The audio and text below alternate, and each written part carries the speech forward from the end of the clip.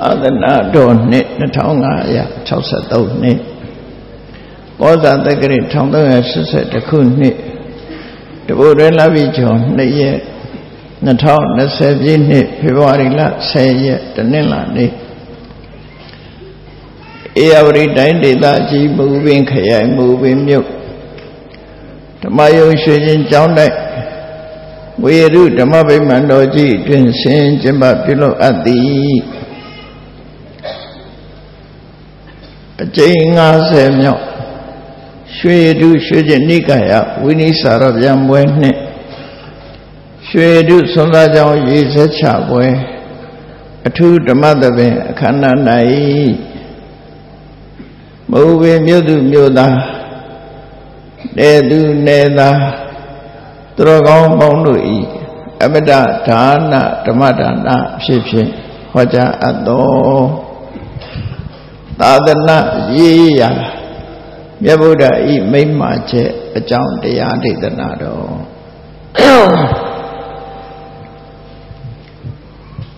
ဒီကနေ့ဗုဒ္ဓဘာသာဝင်တွေကို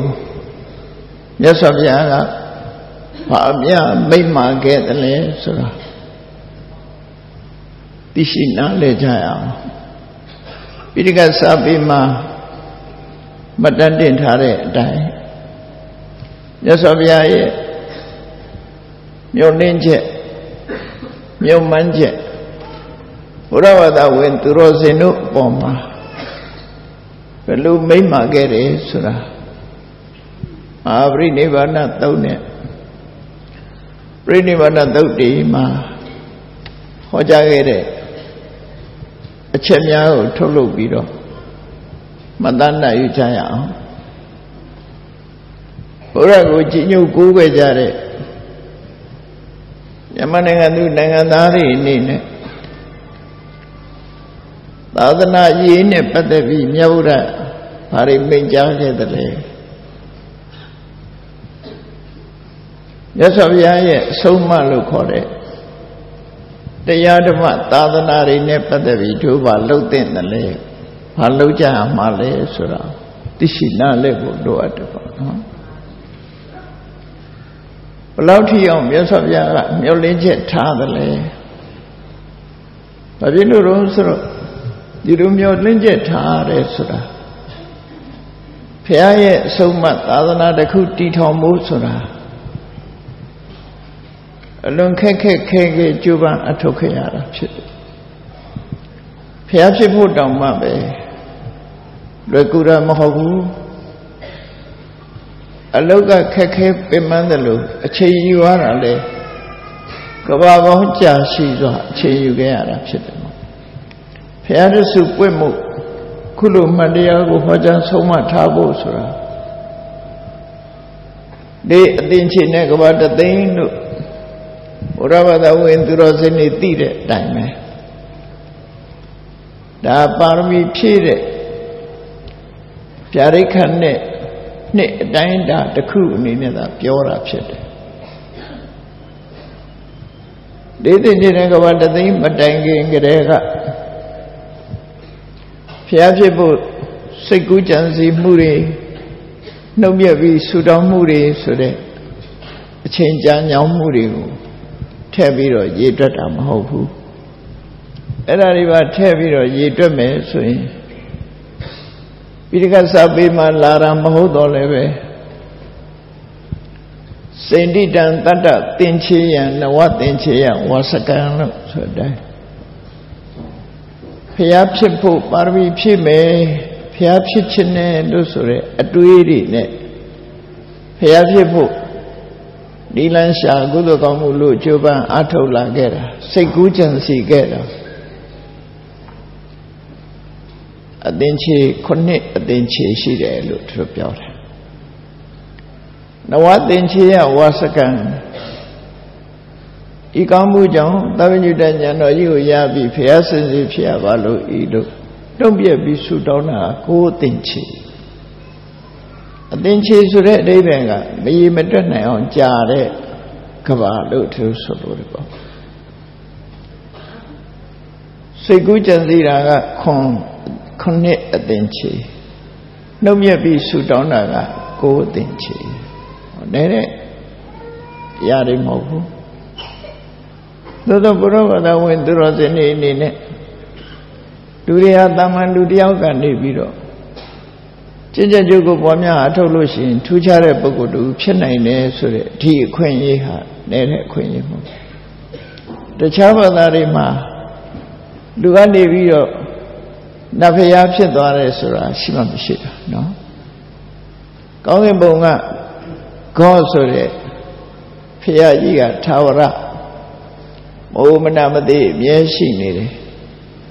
သူကလောကကြီးကိုဖန်ဆင်းတယ်တရားတွေကိုဖန်ဆင်းတယ်လို့ဒီလိုဣတရနိဗ္ဗာန်ဝါဒမှာယုံကြည်ခဲ့ကြတာဖြစ်တယ်သို့သောထိုယုံကြည်ချက်ဟာဘုရားရဲ့ကျမ်းဂန်က အလို့ဆိုလို့ရှိရင်တော့ပြမကြီးတူကိုရည်ညွှန်းပြောဆိုတာဆိုလို့ရှိရင်သူဟာလည်းပဲတကယ်တော့ဖတ်သေးရှင်မဟုတ်ဘူးကုသိုလ်ကောင်းမှုစံပင်ရှင်နေစံကုသိုလ်တွေလုပ်ခဲ့လို့ပြမဘဝရောက်ရှိတာဖြစ်လို့တနည်းကြလို့ရှိရင်လည်းသူလည်းဘဝတစ်ခုအဆုံးသတ်သွားမှာဖြစ်တယ်တရားတူသာလည်းဖြစ်တယ်ယုံကြည်သူတွေဘက်ကပြောနေကြတာတော့ ခေါ်ဆိုတဲ့ဖန်ဆင်းရှင်ကြီးဟာသာဝရလို့သူတို့ဆိုရင်တော့သူကနေဆာသာဝရသူကိုယ်တိုင်ကလည်းပဲနေဆာတိဝရလို့အောက်မေ့တယ်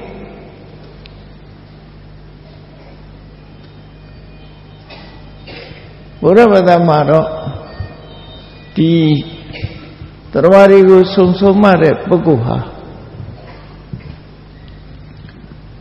အသိဉာဏ်ကြီးမားဆုံးပုဂ္ဂိုလ် ကိုကျင့်တရားကောင်းမွန်ဆုံးပုဂ္ဂိုလ်လို့ဘုရားလို့ဆိုတဲ့ပုဂ္ဂိုလ်သူများဟာလူသားကမွေးဖွားတဲ့ဣစရိယမနုဿအမွေလူသားတူမြတ်တာဖြစ်တယ်။ဒါကြောင့်မို့လူရဲ့အသင်္တဏံလူရဲ့အနေထားတွေဟာပျောက်သွားတာမရှိဘူး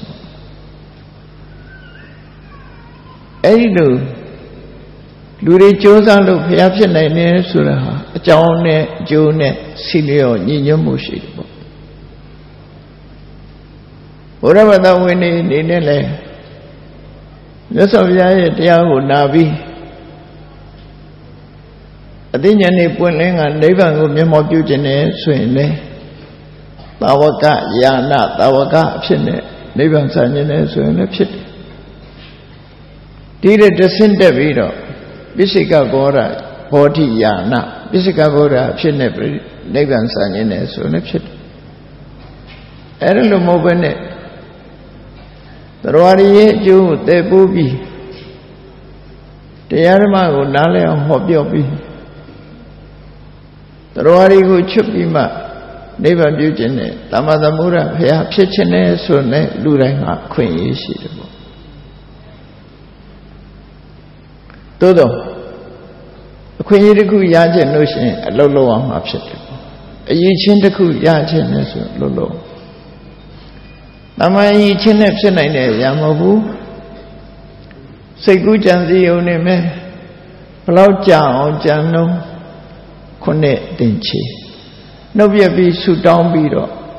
လိုချင်ကြောင်းဖော်ပြနေတာကကိုယ်တင်ချေအဲ့ဒီအချိန်မှာ ကောရမဘုရားလောင်းဟာသူပိဋ္ဌာဆိုတဲ့ယသိဘဝနဲ့ဒီပင်္ဂရမြတ်စွာဘုရားပွင့်တော်မူတဲ့အချိန်သွားပြီးတော့တွေ့တွေ့လို့ဒီပင်္ဂရမြတ်စွာဘုရားကဗျာဒိတလို့ခေါ်တယ်ဖြစ်ပေါ်လာမဲ့အနာဂတ်အနေထားတစ်ခုကိုတိတိကျကျမိန်ကြားတာဗျာဒိတ်ပေးတော်မူခဲ့တယ် ဘာကိုကြည့်ပြီးတော့ဗျာဒိတ်ပေးတာလဲဆိုရင်ပစ္စုပန်အခြေတွေကိုကြည့်ပြီးတော့ဟောတာခဏိခေမှာတောင်မှဘယ်တော့ငရင်လှုပ်မယ်ဘယ်တော့မုတ်တိုင်းဝင်မယ်ဆိုကျွတ်တင်ပြောနိုင်နော်ဘာကိုကြည့်ပြောတာတော့ဆိုပစ္စုပန်ဖြစ်နေတဲ့အခြေအနေတခုကြည့်ပြောတာအဲ့တော့သူမိရာရဲ့သိမှဖြစ်နေတဲ့အခြေအနေတွေကဘာလို့ဆိုရင်အလုံးကိုစိတ်ဆန္ဒ ကြီးမားပြီးတော့နောက်မဆုံးမဲ့ကြိုးစားအထုံးမှုတွေသူ့ရင်ထဲမှာရှိနေတာသိလားဘလောက်ဒီအောင်ဆန္ဒပြင်းပြတော့ဆိုရင်မိတော်ကြီးကိုကြော်ဖြတ်ပြီးဟိုဘက်ရောက်ရင်ဖျားဖြစ်မဲ့ဆိုရင်ဖြတ်မဲ့ပုဂ္ဂိုလ်မျိုးဖြစ်သွားတယ်အဲ့လောက်ထိအောင်စိတ်ဆန္ဒပြင်းနေလို့ဒီပုဂ္ဂိုလ်ဟာမဆုံးနဲ့ဖျားဖြစ်ကိုရောက်လိမ့်မယ်လို့ဆိုတာဖြားတဲ့စကားမိန်ကြခြင်းပဲဖြစ်တယ် အဲ့ဒီအခြေအနေရောက်အောင်ကကြိုးပမ်းလာခဲ့ရတာပဲဖြစ်တယ်ပေါ့အဲ့တော့လေးအသင်ခြေနဲ့ကဘာတသိန်းဆိုပြီးတော့ပါရမီဖြစ်မှဖះဖြစ်သူရောက်ပြီးတော့ဟောထားတဲ့တရားတွေဒီနေရာမှာလေးသင်ခြေဆိုတာမှတ်သားဖို့ရကပြရိတ္တောကြာဖះ24စု ကောရမဖះလောင်းကိုဖះဖြစ်လိမ့်မယ်လို့ဖြာရိတ်ပေးခဲ့တာဒီပင်ကရာဖះတဆူလည်းမဟုတ်ဘူးလေးသိချင်းနဲ့ကဘာတသိန်းအတွင်းမှာဘုရား24စုပွင့်ခဲ့တယ်နော်အဲ့ဒီ24စုသောဘုရားတွေထံကနေဘုရားဖြစ်မယ်ဆိုတဲ့ပြရိတ်စကားအတိပြုမိန်ကြားတာတွေကိုရရှိပြီးသားပုဂ္ဂိုလ်မြတ်ဘုရားဖြစ်သူရောက်တယ်ကဘာမှာဘုရားဖြစ်ဖို့ဆိုအလုံးကိုခဲရင်လို့ ဒီပင်ကရာမြတ်စွာဘုရားပွင့်ပြီးတဲ့နောက်မှာဘုရားဆက်ဟာပြတ်သွားပြီကဘာပေါင်းဘလောက်ကြာတယ်ဆိုတာရေတွက်လို့မရတာကိုတစ်အသင်ချေလို့မှတ်တယ်ဒီပင်ကရာမြတ်စွာဘုရားနဲ့ကွန္တိညာမြတ်စွာဘုရားကြားဟာအသင်ချေတစ်ခုချသွားတယ်နော်သုံးညကဘာတွေများစွာချပြီးတော့ဘုရားလုံးဝမပွင့်တဲ့အချိန်นี้တခါကွန္တိညာမြတ်စွာဘုရားပွင့်တော်မူပြီးနောက်မှာ ဒီလိုပဲသုံးညကဘာတွေချသွားပြန်တယ်အဲ့ဒါဒုတိယနံပါတ်1အသင်ချေကုဏ္ဏညာဖရာနဲ့မင်္ဂလာချာဖရာချာမှာအသင်ချေတစ်ခုဟောနှစ်ခုရှိသွားပြီပြီးတဲ့အခါမှာဒီ24စုတဲကသောဘိတဖရာနဲ့နာဒရဖရာချာမှာအနောမတတိဖရာချာမှာ သောဘိတဖရာနဲ့နောမတတိဖရာချာမှာတစ်အသင်ချေသုံးခုမြောက်အသင်ချေကဘာပေါင်းပဲမြကြတယ်ဆိုတာရေတွက်လို့မရတဲ့အသင်ချေတစ်ခုစတုထကတော့နာဒရမြတ်စွာဘုရားနဲ့ဗဒုမုဒ္ဒရမြတ်စွာဘုရားချာမှာဘုရားပေါင်းဘလောက်ကဘာပေါင်းဘလောက်ချားသွားတယ်ဆိုတော့ရေတွက်လို့မရတာစတုထအသင်ချေ အလုံးပေါင်းလိုက်တဲ့အခါ၄ခုအဲ့ဒါကို၄အသင်ချေလို့ခေါ်တယ်ပထမုဒ္ဒရမြတ်စွာဘုရားပွင့်တော်မူတဲ့အချိန်ကစပြီးဒီဘက်ရေးတွက်လိုက်တာတော့ကဘာတသိန်းလို့ဆိုတယ်အဲ့ဒါလို့လေးသိင်ချိန်နဲ့ကဘာတသိန်းအတွင်းမှာပါရမီတွေဖြည့်ကျင့်ပြီးတော့မှအခုလို့တရားရည်ရဲ့အကျိုးကိုတည်ပိုးတဲ့တရားဓမ္မတွေဆုံးမတွေကိုဟောကြားခဲ့တာဖြစ်တယ် သို့သောတက်တန်းတူတဲ့အချိန်ခါကျမှပါရမီပြည့်ပြီးဖျားဖြစ်ရလို့လူဘဝလူလောကမှာတက်တော်80ညသာနေခဲ့ရတာဖြစ်တယ်တက်တော်80အတွင်းအလုတ်အလုတ်ရဆုံးပဲမြတ်စွာဘုရားအာချိန်နာကြီးမရှိအောင်အလုပ်လုပ်ပြီးတရားဓမ္မတွေကိုများစွာဟောနိုင်ခဲ့တဲ့ပုဂ္ဂိုလ်ဝိပဿနာမြတ်စွာဘုရားတို့ဆိုတာကြတော့ ဝိပဿနာတိခိဝိတ္တပုဒီမြတ်စွာဘုရားတွေဟာသူတို့ခေတ်မှာရှိတဲ့ထိုရှင်မြတ်တွေရဲ့ခေတ်မှာရှိတဲ့လူသားတွေဟာအသိဉာဏ်ထက်မြက်ပြီးတတန်းရှိတဲ့ခေတ်ဖြစ်သည့်အတွက်ကြောင့်ပြောလို့ဆိုလို့လွယ်တဲ့ပုံကိုယ်တွေအသက်တရားဓမ္မမွေးတဲ့လူတွေကခေါင်းမာတယ်ပြောလို့တင်တဲ့သဘောပေါက် ဒါမို့ဘောရဝမြတ်စွာဘုရားကျတော့လူတွေသဘောပေါက်အောင်စ조사ပန်းစားဟောရပိဋက30နေကဲ9ပြဓမ္မခန္ဓာပေါင်း7400တောင်အများကြီးပဲဟောထားခဲ့ရတာနော်နေဗနောညာမှာဟောပြီးတော့တရားရည်ရဲ့အကျိုးတည်ဖို့ခဲ့တာဖြစ်တယ်မြတ်စွာဘုရားသက်ရှိထင်ရှားအချိန်ကာလလေးဟာ 45နှစ်ဆိုတာလောက်မှမရှိဘူးနော်ချိန်ပေါင်း45နှစ်အတွင်းမှာဒီတရားတွေကိုဟောကြားခဲ့တာဖြစ်တယ်45နှစ်ပြီးတဲ့အခါမှာဒီအဆုံးမတရားတော်တွေတည်ရဖို့မြတ်စွာဘုရားရဲ့ကိုယ်စားဆုံးမဖို့ဆိုပြီးတော့သာသနာ9000ဆိုပြီး မှန်းဆရည်တွက်ပြီးတော့ထားကြဘုရားရှိတော်ကတတော်ထရရှိတော်က45နှစ်ပြိဋိဘံစံသွားပြီးတဲ့နောက်မှာ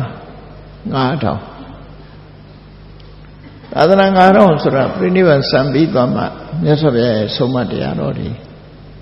ထားခဲ့လို့ထိမ့်သိမ့်လျှောက်လျှောက်ကြအခု2563နှစ်ရှိပါ ဒါဖျားပြိဋိဘံစံသွားပြီးတဲ့နောက်တွက်တဲ့နှစ်ပေါင်း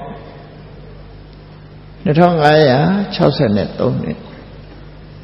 ဒီဟောကြားဆုံးမခဲ့တဲ့တရားဓမ္မတွေနဲ့ပတ်သက်ပြီးတော့မပြောက်ပြက်ဖို့ဆိုတာအမတမအရေးကြီးတယ်။ဘာလို့လို့ဆိုဒီတရားတွေဟောနိုင်ဖို့အတွက်ကျိုးပန်းအထုတ်မှုပါအလုံးကိုခက်ခဲတဲ့ကျိုးပန်းအထုတ်မှုတွေနဲ့ကျိုးပန်းအဲ့လိုကျိုးပန်းအထုတ်မှ ဒီအမှန်တရားကိုဟောကြားပြီးလူတွေရဲ့ယင်ထဲမှာဒီအမှန်တရားရောက်မှဆင်းရဲဒုက္ခလွတ်မြောက်တာဖြစ်တယ်အမှန်တရားရအောင်အသိဉာဏ်ရဖို့ကြတော့လူအသီးသီးရဲ့တောင်းအောင်ဖြစ်သွားတယ်မြတ်စွာဘုရားကတော့ဆုံးမယုံပဲဖြစ်တယ်ကြံတဲ့ပုဂ္ဂိုလ်တွေကမြတ်စွာဘုရားဟောတဲ့ဆုံးမတရားတော်တွေကိုသိရှိပြီးကျင့်ကြံကြိုးကိုအထုတ်ဖို့ဆိုတာကတော်ဝါရီရဲ့ အလုပ်ပဲဖြစ်တယ်အဲ့တော့မြတ်စွာဘုရားကတရားဝါရီကိုကဲတင်တယ်ဆိုတာဘယ်ပုံနဲ့ကဲတင်တာတော့ဟိတေပဝတ္တနေနာအာဟိတာသနိဝတ္တနေနာတရားရီရဲ့ရှင်ထဲမှာကောင်းကျိုးချမ်းသာကိုဖြစ်စေတတ်တဲ့ကုသိုလ်တရားတွေကိုဖြစ်အောင်လုပ်စေခြင်းအဟိတာသနိဝတ္တနေနာဆိုးကျိုးကိုပေးတတ်တဲ့အကုသိုလ်တရားတွေမှ ဝေးစွာဆုတ်ခွာရှောင်ရှားခြင်းဆိုဆိုလိုတာကလှုပ်တဲ့နာကိုလှုပ်တယ်မလှုပ်တဲ့နာကိုမလှုပ်အောင်ရှောင်ခြင်းဒီနှစ်ခုပဲရှိတယ်မြတ်စွာဘုရားဆုံးမလို့တဲ့ဟာကမလှုပ်ရမယ့်ဟာနဲ့လှုပ်အောင်ဟာဒီနှစ်ခုပဲရှိတယ်ခဏခေတ်မှလည်းကြည်လေကိုသားသမီးကိုတပည့်ကိုမိဘတွေဆရာသမားတွေကဆုံးမရင်ဘယ်လိုဆုံးမဒါမလုံးနဲ့ဒါလှုပ်ဒီနှစ်ခုပဲမဟုတ်လား မလှုပ်ရမယ့်ဟာကိုရှောင်မိုးနဲ့လှုပ်ရမယ့်ဟာလှုပ်ဖို့ဒီနှစ်ခုကအဓိကကျတယ်မြတ်စွာဘုရားလည်းဒါကိုပဲဟောတာမလုပ်ရမယ့်ဟာတွေကိုလုပ်နေသမျှဘယ်တော့မှဆင်းရဲဒုက္ခမလွတ်ဘူးလုပ်ရမယ့်ဟာတွေမလုပ်သေးသမျှချမ်းသာဒုက္ခကဆုံးရှုံးနေဥမှာပဲလောကလူတွေဟာဆင်းရဲဒုက္ခကမလွတ်ဘူးချမ်းသာဒုက္ခမရဘူးဆိုတာမလုံးတဲ့နာတွေလှုပ်ပြီးလုံးတဲ့နာတွေမလုံးလို့ဖြစ်နေတာနော် အဲ့ဒီမလုံးတဲ့နာနဲ့လုံးတဲ့နာခွဲခြားသိဖို့မြတ်စွာဘုရားတိတိကျကျဟောပေါ်ပြခဲ့တာဖြစ်တယ်အဲ့တော့ဘုရားဘာသာဝင်သူတော်စင်တွေအနေနဲ့မြတ်စွာဘုရားရဲ့အဆုံးအမစကားတော်တွေကိုမပြောင်းမပြတ်အောင်ထိမ့်သိဆောက်ရှောက်ဖို့ဆိုတာအလွန်ပဲအရေးကြီးတယ်ပေါ့စေတီပထိုးတည်ထားကိုးကွယ်ခြင်းဘုရားကြောင်းကနေပြုစုပြောထောင်ခြင်းဟာမြတ်စွာဘုရားအပေါ်မှာ အမှတ်တတိရပြီးတော့ချီညိုလေးစားလို့ပူဇော်တဲ့အနေအထားမျိုးပဲရှိတယ်တကယ်လို့ရမှာကမြတ်စွာဘုရားရဲ့အဆုံးအမစကားတော်တွေမပြောင်းအောင်လုပ်အောင်ဖြစ်တယ်မြတ်စွာဘုရားရဲ့အဆုံးအမစကားတော်တွေမပြောင်းအောင်ဘယ်လိုလုပ်ရမလဲဆိုရင်ဘုရားပါရီဟောခဲ့တယ်လေဆိုတာကိုသိအောင်သင်ယူခြင်းပို့ချခြင်းလုပ်ရမှာဖြစ်ဒါမို့လို့အခုလို့ ဓမ္မယုံကျောင်းတိုက်တို့လိုသာသနာကြီးတွေတီထောင်ပြီးတော့မြတ်စွာဘုရားရဲ့ဆုံးမတရားတော်တွေကိုသင်ကြားပို့ချသင်ယူနေကြမြန်မာနိုင်ငံမှာအနှံ့အပြားရှိတဲ့သာသနာကြီးတွေဟာမြတ်စွာဘုရားရဲ့ဆုံးမတွေကိုလက်ဆင့်ကမ်းမှုကြိုးစားနေကြတာပဲဖြစ်တယ်အဲ့ဒါလို့လုတ်ခဲ့ကြလို့ဒီသာသနာဟာခဏထိတွေ့ခုဆိုရင်ဒီဓမ္မယုံ ကျောင်းတိုင်းမှာကျင့်ပပြုလုပ်တဲ့ရွှေနိကာယဝိနိစ္စပြန်မွဲဆိုနှစ်ပေါင်း90ရှိတာနော်ရွှေဒီဝဲလို့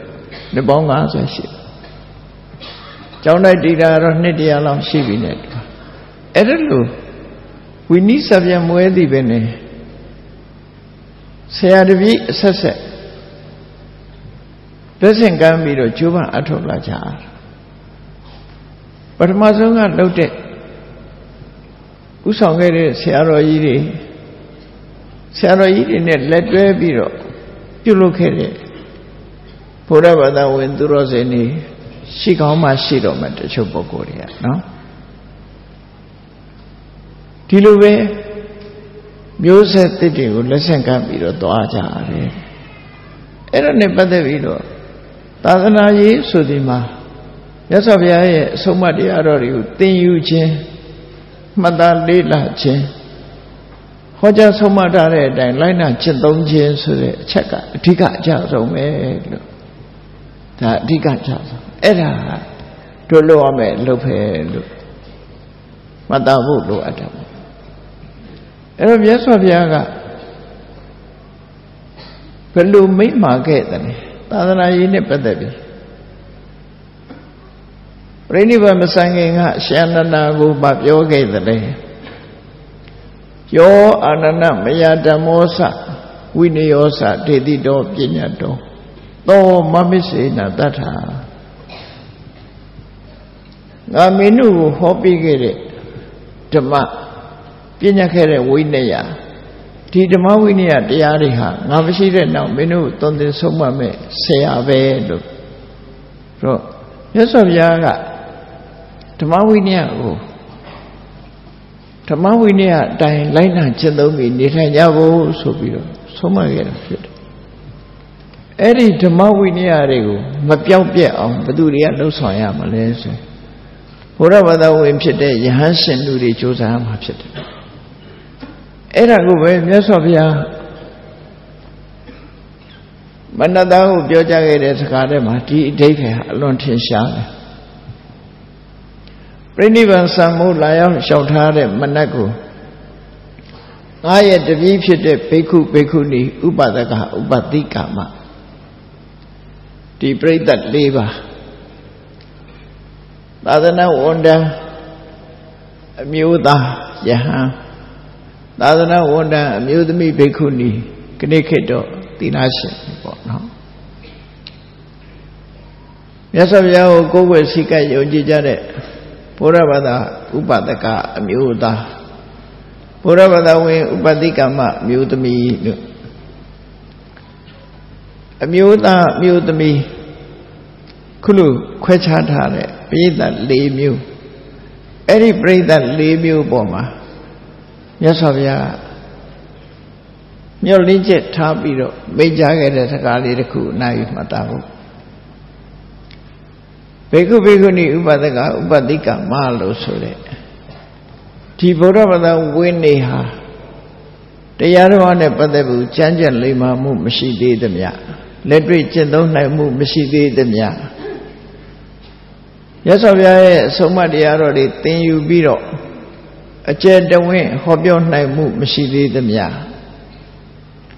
ဖြစ်ပေါ်လာတဲ့စัจ java ဝါဒတွေကို ဖြည့်ရှင်းဆုံးဖြတ်နိုင်ခြင်းမရှိသေးသမျှသာသနာတော်ရဲ့ကျင့်စဉ်ကြီးဟာလူနဲ့ပြမတရားတွေအတွင်းမပြန့်ပွားသေးသမျှငါဘုရားပြိဋိဘမဆံမှုလို့ညှင်းဆန်ခဲ့တယ်အဲ့ဒီစကားကိုထောက်ပြီးတော့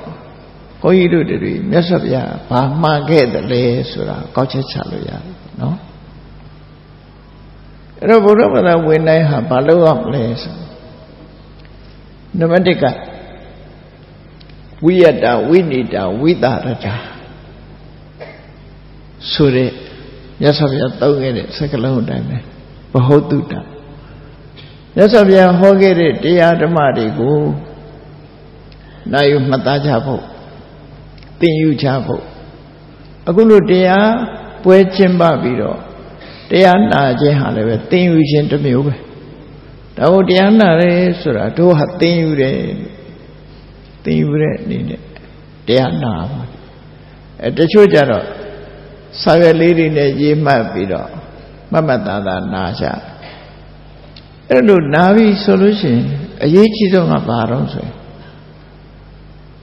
အာယုစူးစိုက်ပြီးတော့မှတ်သားမိအောင်နာယူဖို့ကအရေးကြီးတယ်နော် တတိနဲ့အာယုစူးစိုက်ပြီးတော့နာယူမှတ်သားမှာဖြစ်တယ်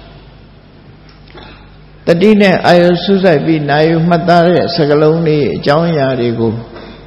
အသိပညာနဲ့အ내ဒိဗ္ဗေကိုနားလည်ခြင်းပဲဖြစ်တယ်ဆိုလိုတာကတတိနဲ့ပညာဒီနှစ်ခုအသုံးချပြီးတော့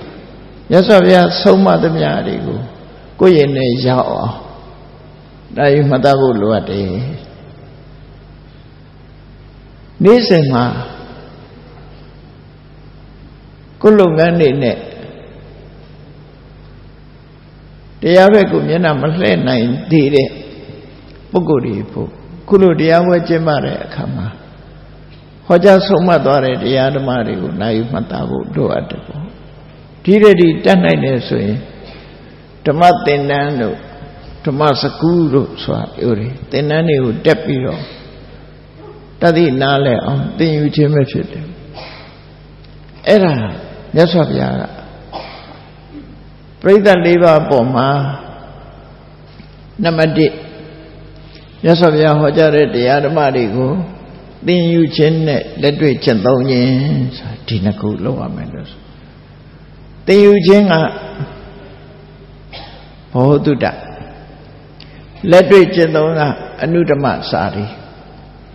အဲ့တော့လက်တွေ့ကျင့်သုံးရမယ်သင်ယူရမယ်ဒီနှစ်ခုသင်ယူရမယ်လက်တွေ့ကျင့်သုံးရမယ်ဒါနံပါတ်1ဘယ်လိုနည်းနဲ့ပဲသင်သင်မြတ်စွာဘုရားဟောတဲ့အဆုံးအမတရားတော်တွေကိုယ့်ရဲ့နဲ့ရအောင်လုပ်ဖို့တော့လိုတယ်ပေါ့မှတ်မိရအောင်အဲ့လိုမှတ်မိအောင်သင်ယူထားပြီးတဲ့အခါမှာလက်တွေ့ကျင့်သုံးမှုတဲ့လိုက်နာမှုကျင့်သုံးမှု ဆိုပါတော့သဗ္ဗပပတအကရဏအကုသိုလ်မှန်သမျှကိုမပြုရဘူးကုသလတုပတမရာကုသိုလ်မှန်သမျှကိုယ်တဏ္ဍမှာပြည့်စုံလို့ဒါဖះဆုံးမစကားအဲ့တော့ရှင်းရှင်းပြောရင်မလှုပ်တဲ့နာကိုမလှုပ်ကြနဲ့လှုပ်တဲ့နာကိုလှုပ်ရမယ်ဆိုတာဒီနှစ်ခုပဲเนาะအကုသိုလ်ဆိုတာမလှုပ်တဲ့ဘူးဘာဖြစ်လို့မလှုပ်တဲ့လဲဆိုးကျိုးပေးတတ်တယ်လူတွေနေ့စဉ်စားတဲ့အစားအစာပဲကြည့် ကိုယ်နဲ့မတည့်တာမစားနဲ့စားရင်ဘာဖြစ်မလဲခန္ဓာကိုယ်မှာအ ਨੇ ဆုံးမအီမသာဖြစ်မယ်နေမကောင်းထိုင်မသာဖြစ်မယ်စားတဲ့နဲ့အစားအစာစားလို့ရှိရင်စိတ်ရှင်လန်းနေကြမ်းပါတယ်အင်အားပြည့်တယ်ဒီလိုဖြစ်အဲ့ဒါမျိုးလို့ပဲလူရဲ့စိတ်မှလည်းပဲမဖြစ်တဲ့အကုသိုလ်တွေရင်ထဲနှလုံးထဲမှာဖြစ်အောင် ဖြစ်တဲ့ကုသိုလ်တရားတွေရင်ထဲမှာဖြစ်အောင်အဲ့ဒီနှစ်ခုကကိုလောရမယ့်ကိစ္စဆိုတာဆွေးမြဲစွာတတိထားဖို့လိုတယ်မြတ်စွာဘုရားရဲ့အဆုံးအမဒီတိုင်းပဲပေါ့နော်ဒါကြောင့်ဘုရားရဲ့အဆုံးအမမလုတဲ့နာကိုရှောင်ခြင်းလှုပ်တဲ့နာကိုလှုပ်ဆောင်ခြင်းဆိုတဲ့ဒီလိုဆုံးမသွန်သင်တဲ့စကားရက်တွေကိုရှုစွာသိယူမှတ်သားရမယ်တဲ့ဒါတခု နောက်တစ်ခုကတော့မြတ်စွာဘုရားရဲ့ဆုံးမသွန်သင်ချက်တွေကိုသင်ယူမှတ်သားပြီးတဲ့အခါမှာအကျယ်တဝင့်ဟောပြောပြသရမယ်ဒါပြတ်မောအောင်လုပ်ထားကြတော့နော်ပထမကိုကိုယ်တိုင်သိအောင်လုပ်တယ်ကိုယ်ကိုယ်တိုင်သိပြီးတဲ့အခါမှာဘုရားဘာသာဝင်နေဟာကိုသိတဲ့တရားကိုလက်ဆင့်ကမ်းဖို့လိုသေးတယ်ဒါကြောင့်မို့ မြတ်စွာဘုရားဟောကြားဆုံးမတဲ့တရားတော်တွေကိုအကျယ်တဝင့်ချက်ပြီးတော့ဟောပြောရမယ်ဒါနံပါတ်1နံပါတ်3ကဘာလို့ဆိုရင်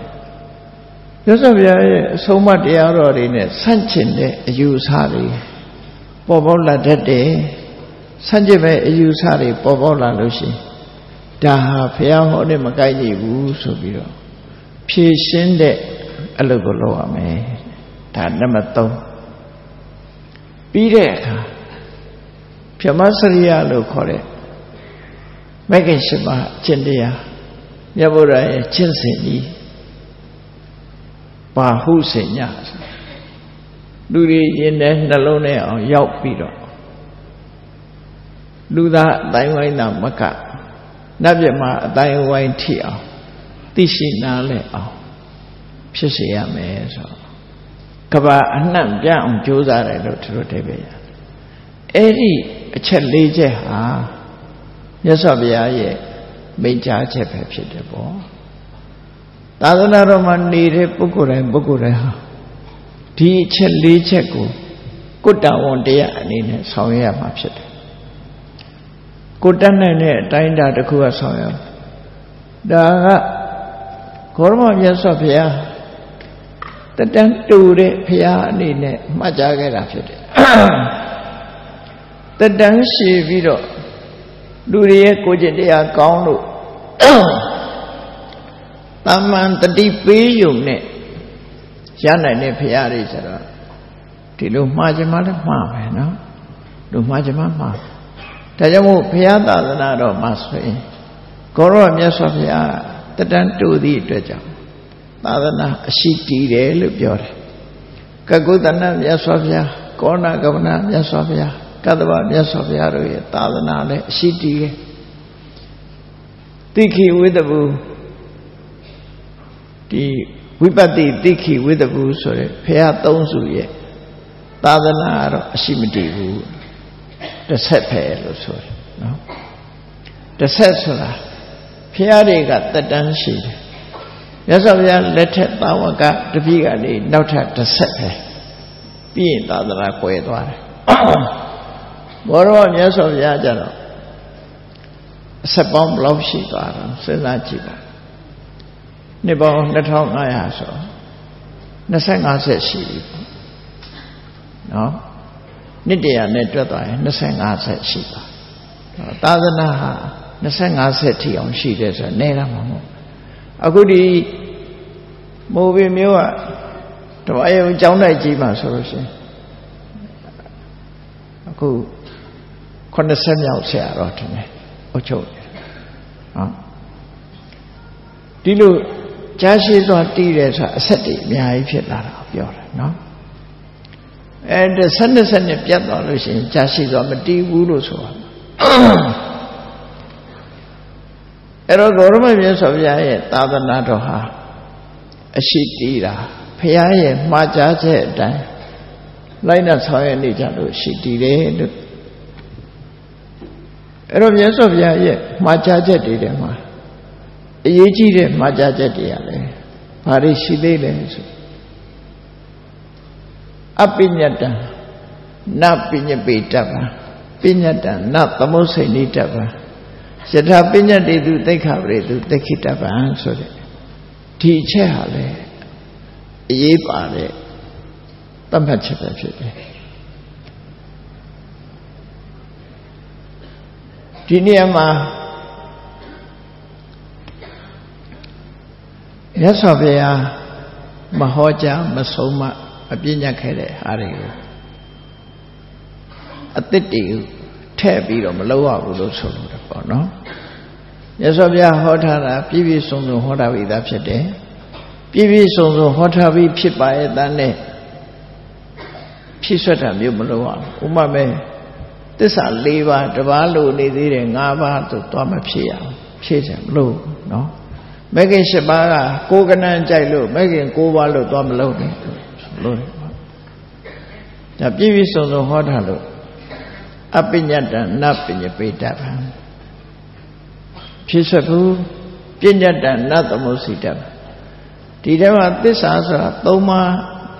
ဟို၄ပါးများနေတယ်၃ပါးဆိုရင်ရတယ်ဆိုပြီးတော့တပါးလျှော်လို့လည်းမရဘူး။မဲခင်၈ပါးလည်း9ပါးဆိုရင်တုံတော့တယ်ဆိုပြီးတပါးလျှော်လို့မရဘူး။အဲ့ဒါဖះဟောဖို့ပြည့်ညတ်ထားတဲ့အရာသတ်မှတ်ထားတဲ့ဟာလျှော့ချခြင်းလို့ဆိုတာအဲ့ဒါလည်းမလုပ်ရတဲ့အရာတစ်ခု။ ယထာပြည့်ညတ်တွေသူသိခပရိသူသိခိတမှာ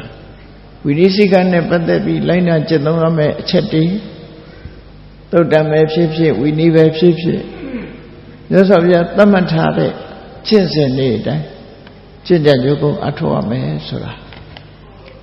အပရိဟာနိယတရား9ပါးထဲမှာမြတ်စွာဘုရားသုံးပါးမြောက်အနေနဲ့နှစ်ပါးမြောက်အနေနဲ့ထိသွင်းဟောကြားခဲ့တာဖြစ်တယ်ဒုတိယအပရိဟာနိယတရား ဒါလည်းအရေးကြီးလို့ပြိဋိဘံမြတ်စွာဘုရားပြိဋိဘံပြုသွားတဲ့အခါမှာအဲ့ဒီအချက်တွေကိုရှင်မကတ္တဗတို့တန်ခါအစည်းအဝေးကြီးကနေဒီတိုင်းပြန်ပြီးတော့ချက်မှတ်ခဲ့တာဖြစ်တယ်အဲ့ဒါကိုထေရဝါဒမူ၃ချက်လို့ပြောတယ်နော်ထေရဝါဒမူ၃ချက်ဒီဖယမပြညတ်တာကိုနောက်ထပ်ထပ်ပြီးတော့ အသိမလို့ရဘူးအဟောင်းကိုမပယ်ဖြဲရဘူးအသိမထဲရဘူးအဟောင်းကိုမပယ်ဖြဲရဘူးရှိတဲ့အတိုင်းလိုက်နာချက်သုံးရမယ်ဆိုရင်ဟောဘုရားဟောတာတွေနဲ့ပတ်သက်ပြီးအဲ့တိုင်းအတီးပြုတ်ပြီးတော့ဆုံးဖြတ်ခဲ့ကြတာဖြစ်တယ်မြတ်စွာဘုရားကကြွတင်ပြီးတော့အပရိဟာနိယတရား9ပါးထဲမှာဒီအချက်ကိုထည့်သွင်းမိသားဖြစ်တယ်အဲ့ဒီထည့်သွင်းထားတဲ့အတိုင်း မြတ်စွာဘုရားပြိဋိဘံဆံသွားတဲ့အခါမှာရှင်မကတ္တဗစားတဲ့မထေမြတ်တရားဒါတွေကိုလက်ခံပြီးတော့ဒီတိုင်းပဲလိုက်တာချက်သုံးရတယ်အဲ့တော့ခဏိထီအောင်မြတ်စွာဘုရားရဲ့အဆုံးအမတရားဓမ္မတွေဟာပုံမပြောင်းမှုမပြည့်တည်ရှိနေတာဖြစ်အဲ့ဒီအရင်တိုင်တည်ရှိနေသမျှကလပ်ပလုံး ကိုကိုယ်တိုင်ကသိအောင်လုပ်ပြီးကြိုးစားအထောက်ဖို့ပဲလိုအပ်တယ်နော်ကိုကိုယ်တိုင်ကြိုးစားအထောက်လို့ရှင်လမ်းစဉ်နဲ့လှုပ်ထုံးကရှိပြီးသားမလှုပ်ချင်းသည်ကိုယ့်အပြစ်သာဖြစ်မယ်ဒါကြောင့်မို့မာဝခဏံဝိရဒေထအခွင့်ကောင်းကြီးကိုလွဲချော်မသွားစေကြနဲ့ဒီဖရာရဲ့ဆုံးမတရားတော်တွေကျင့်စဉ်တွေရှိနေတာဖြစ်သောကြောင့်ဒီကျင့်စဉ်အတိုင်းကျင့်ပြီးအောင် အ ਨੇ ဆုံးဆိုပါစို့မြတ်စွာဘုရားရဲ့ဆုံးမသာသနာတော်မှာတရဏဂုံနဲ့သီလလုံးဝပြည့်စုံတဲ့ပုဂ္ဂိုလ်ကိုယ့်ကိုတရဏဂုံသုံးပါးနဲ့ကွာငါးပါးသီလငါလုံးဝလုံတယ်လို့ကိုယ့်ကိုပြောနိုင်တဲ့ပုဂ္ဂိုလ်ဖြစ်အောင်ကြိုးစားအထောက်ဒါအောက်ထစ်ဆုံးပြောတယ် ဒီတဲ့အစင်းမြင့်ပြီးတော့ကြိုးစားမယ်ဆိုရင်ဒီတဲ့အစင်းမြင့်နဲ့အရေးချင်းလေးကိုရရှိမှာပဲဖြစ်တယ်လှုပ်ဖို့ပဲလူတယ်လမ်းစဉ်နဲ့လှုပ်ထုံးကမမှန်ကန်ကန်ကြီးရှိနေတယ်ဒါဟာအခွင့်အရေးတရက်ပဲတခြားနိုင်ငံတွေမှာဘုရားဘာသာမဟုတ်တဲ့နိုင်ငံတွေမှာကြားတောင်ကြားဖို့မှမဟုတ်ဘူးဒီအခွင့်အရေးမျိုးပေါ့နော်အဲ့တော့မာဝခဏဝိရဒေတာအခွင့်ကောင်းကြီးကိုလက်မလွတ်စေကြနဲ့ ခဏတိတာဟိသောစေခွင့်ကောင်းလက်လွတ်သွားလို့ရှင်နောက်မှနောက်ရရကြလိမ့်မယ်ဟုတ်ပါလားဒါကြောင့်မို့ရှင်ဥပတိကတိုက်တွန်းတယ်တဒတ်ထေဝါယမေယထကိုကျိုးစည်းပွားရအောင်ကိုကိုယ်တိုင်ကြိုးစားအထောက်ကြလို့အဲ့တော့မြတ်စွာဘုရားရဲ့အဆုံးအမတရားတော်တွေဟာ အလုံးမဲရှင်းလင်းပြတ်သားပြီးကိုဘာလို့ရမှာဆိုတာကိုသိရှိနားလည်ပြီးတာဖြစ်တယ်ပေါ့နော်အဲ့တော့ကောင်းပြီသမ္မာဒိဋ္ဌိလို့ပြောကြတယ်မှန်ကန်တဲ့အမြင်တစ်ခုအဲ့တော့မှန်ကန်တဲ့အမြင်ကိုရပလားကိုယ့်ကိုမေးချင်ငါတို့ဟာမှန်ကန်တဲ့အမြင်ရပလားဖရာတရားကြီးညိုလို့တမာဒိဋ္ဌိဖြစ်တယ်လို့ဆိုတာ ခိုင်မာမှုရပလားကိုယ်မှာတကယ်ရောမှန်ကန်တဲ့အတိုင်းမျက်နှာဟုတ်ကလားကိုယ့်ကိုဆန်းစစ်ဖို့လိုတယ်ပေါ့နော်ကိုယ့်ကိုဆန်းစစ်ကြည့်ရမယ်မြတ်စွာဘုရားကဘာတွေဟောခဲ့လဲတမာဒိဋ္ဌိဆိုတာဘယ်လိုဟာမှတမာဒိဋ္ဌိဖြစ်တယ်လဲဆိုတာသိရှိနားလည်အောင်ကြိုးစားအဲ့တော့စာပေကျမ်းကမှာ တမာဒိဋ္ဌိနဲ့ပတ်သက်ပြီးတော့ရှင်းလင်းဟောကြားထားတာတွေကိုမှတ်သားကြည့်ဖို့လိုတယ်တမာဒိဋ္ဌိသုတ်တံဆိုပြီးတော့ရှင်သာရိပုတ္တရာဟောထားရှိတယ်အဲ့ဒီမှာတမာဒိဋ္ဌိဆိုတာမှန်ကန်တဲ့အမြင်တို့ဟာအမြင်မှန်မလားဆိုတဲ့နေရာမှာရှင်သာရိပုတ္တရာရဲ့ဟောပြောချက်နဲ့ကိုယ့်ကိုတိုက်ဆိုင်ပြီးတော့ကြည့်မယ်ဆိုရင် ကုသိုလ်ကိုကုသိုလ်လို့သိတာအကုသိုလ်ကိုအကုသိုလ်လို့သိတာဒါမှန်ကန်တဲ့အမြင်ပဲတဲ့လောဘသည်အကုသိုလ်ဒေါသသည်အကုသိုလ်မောဟသည်အကုသိုလ်လို့သိတာမှန်ကန်တဲ့အမြင်ပဲအလောဘဆိုတဲ့လောဘကိုပယ်တတ်နိုင်တဲ့တရားအဒေါသဆိုတဲ့ဒေါသကိုဖယ်ရှားနိုင်တဲ့တရားအမောဟလို့ဆိုတဲ့မောဟကိုဖယ်ရှားနိုင်တဲ့ အတိညာဒါကုသိုလ်လို့အဲ့လိုအခြေခံကြကြကိုယ့်ရဲ့နှလုံးထဲမှာဖြစ်တဲ့မြကုသိုလ်အကုသိုလ်ပြည့်ရှိမရှိခွဲခြားသိပြီဆိုရင်ဒါတမာဒိဋ္ဌိလို့ပြောတယ်ဒါတမာဒိဋ္ဌိသို့တော့တမာဒိဋ္ဌိကဤမြတဲ့တမာဒိဋ္ဌိလားလို့ဆိုမဟုတ်သေးဘူးတမာဒိဋ္ဌိဟာသူ့အဆင့်နဲ့သူသွားတာဖြစ်တယ်အဲ့တော့ ဘုရားဘာသာဝင်သူတော်စင်နေနေနဲ့ကံကံဤကျိုးလက်ခံနေဆိုတဲ့အဆင့်ကနေစကြည့်မြတ်စွာဘုရားကတမ္မာဒိဋ္ဌိကိုခွဲခြားတဲ့အခါမှာအောက်ဆုံးအဆင့်ကတော့ကမ္မတက္ကတာတမ္မာဒိဋ္ဌိလို့ခေါ်တယ်ကမ္မတက္ကတာတမ္မာဒိဋ္ဌိရဲ့အဓိပ္ပာယ်ကကိုလုထာကိုနဲ့သာသက်ဆိုင်နေဆိုတဲ့အမြင်ပဲဖြစ်တယ်လက်ခံ စာပေကျမ်းကမှာတော့အဓိပ္ပာယ်တစ်မျိုးဖွင့်တာဖြစ်တယ်တက္ကဆိုတာကိုဟာလို့ပြောရမှာကုသိုလ်သာလင်ကိုဟာလို့ပြောခြင်းနဲ့အကုသိုလ်ကြတော့ကိုဟာလို့မပြောချင်ဘူးဆိုသို့တော့ဒီဖွင့်ဆိုချက်ဟာနော်မြတ်စွာဘုရားရဲ့အာဘော်နဲ့အပြည့်အဝကိုက်မယ်မဟုတ်ဘူးမြတ်စွာဘုရားရဲ့အာဘော်ကကမ္မတက္ကတာတမ္မာဒိဋ္ဌိဆိုတာ ယံကမံကရိတန္တိကလျာဏဝပပကံဝတတကမ္မတထာရဘဝိတန္တိဒါမြတ်စွာဘုရားရဲ့ကံကံဤအကျိုးကိုလက်ခံတဲ့အမြင်တစ်ခုပဲကိုဘာပဲလှုပ်လို့ကောင်းတာလှုပ်လို့မကောင်းတာလှုပ်လို့လှုပ်သည်မြကံရဲ့အကျိုးဆက်ကိုကိုပဲခံရမယ်ကိုပဲစရမယ်ဟောဒါဟာ သူ့ရဲ့အမွေခံပဲကံရဲ့အမွေခံပဲဖြစ်ရမယ်လို့ဒီအမြင်ကိုမြင်မှုလို့ရတယ်ဒါကိုကမ္မတက္ကတာတမဒိဋ္ဌိလို့ခေါ်တယ်ကိုလှုပ်တာကိုနဲ့သာသက်ဆိုင်တယ်လို့မြင်တဲ့အမြင်ဟာဘလောက်တန်မိုးရှိတယ်လဲစဉ်းစားကြည့်စัจ jame နဲ့တွေးကြည့်ကိုလှုပ်တာကိုနဲ့မပတ်သက်ဘူးလို့ငင်းွယ်လိုက်တဲ့ပုဂ္ဂိုလ်တူတယောက်ဟာ တူတော်လူကောင်းဖြစ်ဖို့မရှိနိုင်ဘူး။ဘာကြောင့်လို့ဆိုတော့ကိုလှုပ်တာကိုနဲ့မပတ်သက်ဘူးလို့ဆိုတဲ့အမြင်ရှိရင်ကောင်းတာလုပ်လဲကောင်းတာရမှာမဟုတ်ဘူးမကောင်းတာလုပ်ရင်မကောင်းကျိုးမခံရဘူးဆိုတဲ့ပုံကိုတယောက်တည်းသူလှုပ်ချင်တာတွေလှုပ်တော့မှာပေါ့သူလှုပ်ချင်တာအကောင်လားအဆိုးလားဆိုတာလူဆိုတာအဆိုးကိုသာလှုပ်တာများတယ်လွယ်တာကအဆိုးကလွယ်တာဟုတ် နော်အဲ့တော့အဆိုးကိုလှုပ်တယ်ဆိုကြတဲ့ကသူကလူတော်လူကောင်းဖြစ်ဖို့မရတော့နော်ဒါကြောင့်ကောင်းတာလုံးမှကောင်းကျိုးရတယ်မကောင်းတာလုပ်ရင်မကောင်းကျိုးရလိမ့်မယ်ဆိုတဲ့ကမ္မတက္ကတာတမ္မာဒိဋ္ဌိအမြင်ဟာလူတော်လူကောင်းဖြစ်အောင်လမ်းခင်းပေးထားတာဖြစ်တယ်အကယ်၍တချို့ပုဂ္ဂိုလ်တွေမြင်တယ်လို့ပေါ့ ကောင်းတာလုပ်တယ်ကောင်းတာမဖြစ်ပါဘူးဆိုးတာလုပ်တယ်ဆိုးတာမဖြစ်ပါဘူးမဟုတ်တာလုပ်တဲ့လူတွေကြီးပွားနေတယ်ဟုတ်တာလုပ်တဲ့လူတွေဆင်းရဲနေတယ်ဆိုတဲ့ဒီအတွေးလေးနဲ့ကံကရေးကျိုးကိုညင်းပယ်မှုတွေလည်းဖြစ်တတ်သေးတယ်ပေါ့နော်